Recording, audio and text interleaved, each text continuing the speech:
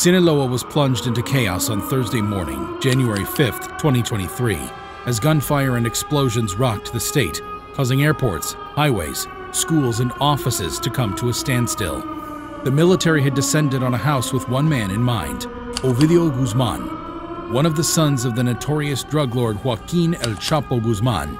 So, who is Ovidio Guzman, and why is he so important? Welcome to Crime Sight, home to all the latest news in the criminal underworld. Today, we're covering the story of the one person everyone's talking about, the infamous Ovidio Guzman. Before we begin, we would like to give a trigger warning, as some of the content of this video involves details of murder and violence. Who is Ovidio? Born in 1990, Ovidio Guzman Lopez is also known by his nicknames El Bebe, which means the baby, and El Raton, or the mouse. He is the son of the infamous drug lord El Chapo of the Sinaloa cartel. Having such a powerful father figure, Ovidio Guzman may have grown up in luxury, but his roots in the Sinaloa cartel were firmly planted from a young age. Despite being raised in the upscale Jardines del Pedregal district of Mexico City, Ovidio was no stranger to the criminal underworld that his family presided over. Along with his older brother Joaquin, he was already a member of the Sinaloa cartel at the tender age of 18, at the behest of his father. Ovidio's half-brothers Ivan and Jesus, the children of El Chapo's first wife Alejandrina Hernandez, were also involved in the cartel, and the trio was infamously referred to as Los Chapitos. In the shadowy world of drug trafficking, Ovidio Guzman Lopez was not just an ordinary member of the notorious Sinaloa cartel. He was a key lieutenant of his father, the infamous El Chapo. His reputation as a powerful figure in the cartel was further cemented when the U.S. Treasury's Office of Foreign Assets Control designated him as such in 2012 under the Foreign Narcotics Kingpin Designation Act. Following his father's arrest in 2016, Guzman Lopez is widely believed to have taken on an even more prominent role in the Sinaloa cartel. In fact, a 2019 report by the Associated Press suggests that he now leads the cartel, along with his three brothers his criminal record. Ovidio's power within the Sinaloa cartel is amplified by the fact that he is the son of El Chapo, a figure revered by many in the criminal underworld for his cunning and audacity. As a result, Ovidio has access to vast resources, connections, and networks of influence, making him a formidable figure in the world of international organized crime. But although the cartel always protected Ovidio, his criminal activities did not go unnoticed by law enforcement. In 2017, Ovidio and his brother Joaquin were indicted by a grand jury on charges related to trafficking drugs since 2008. The indictment remained sealed until it was unsealed in December 2018 for the limited purpose of an extradition proceeding. Finally, in February 2019, the indictment was fully unsealed by Judge Rudolph Contreras. For years, the United States has tried to extradite Guzman. In December 2021, the U.S. State Department offered a reward of $5 million for information leading to his arrest or conviction, as well as for each Chapitos. Guzman faces charges in the U.S. for conspiring to traffic cocaine, methamphetamine, and marijuana into the country. According to the State Department, he's responsible for methamphetamine labs in Sinaloa that produce between 3 to 5,000 pounds of the drug each month.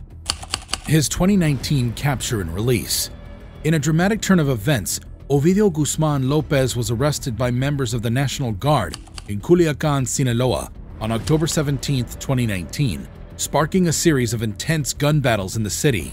The situation quickly escalated when heavily armed cartel gunmen, reportedly numbering over 700, threatened to cause mass civilian casualties, including an attack on the apartment complex where the relatives of local military personnel were housed.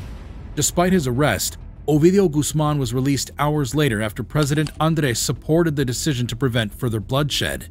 This was his sheer power taking effect.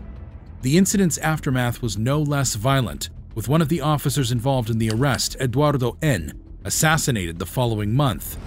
The Mexican government continued to crack down on Ovidio's activities, with Santiago Nieto, head of the country's financial intelligence unit, announcing in May 2020 that they had frozen his assets and those of 330 individuals associated with the cartel. Nieto also revealed that they had discovered irregularities and had filed a complaint with the prosecutor's office. It seemed that wasn't the end for Ovidio Guzman. who continued to uphold his father's legacy, but his time was yet to come. The El Chapo family seems to be in hot water lately. If you'd like to know more about them, subscribe to our channel. The violence continued in 2023. On January 5, 2023, Ovidio was sought out once again in Jesus Maria district of Culiacan. He was followed by a joint operation involving the Army, National Guard, Secretariat of National Defense, and Secretariat of the Navy.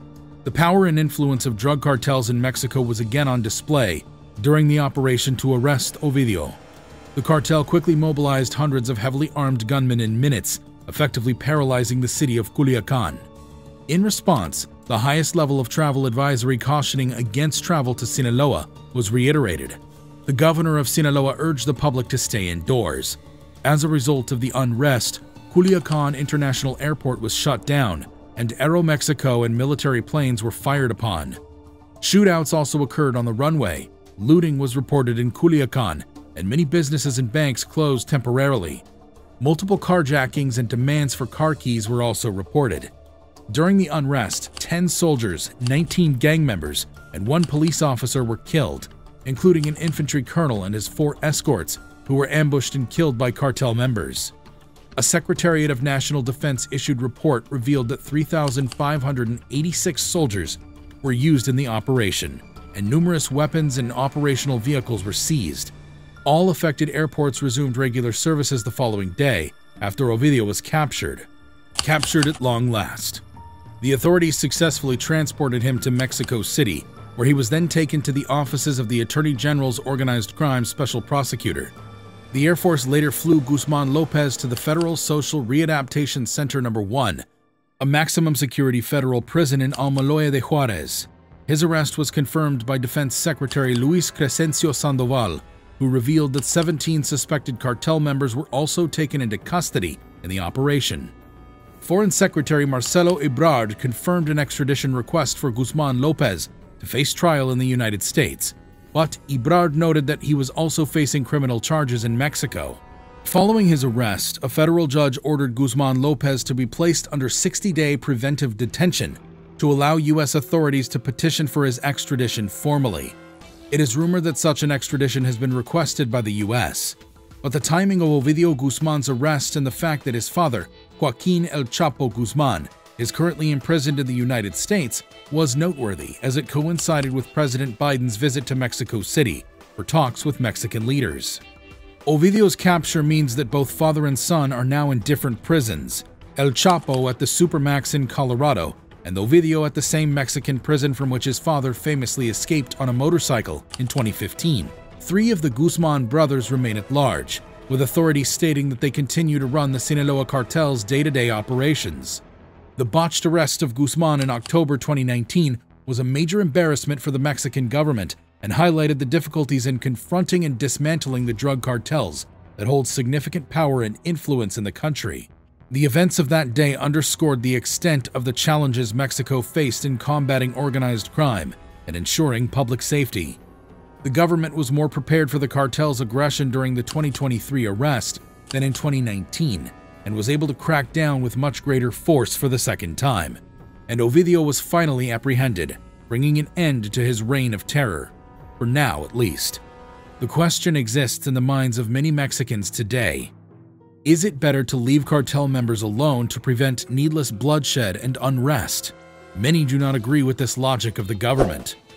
Subscribe to Crime Sight for further updates on the arrest, and click the video on the right for another great Mafia video.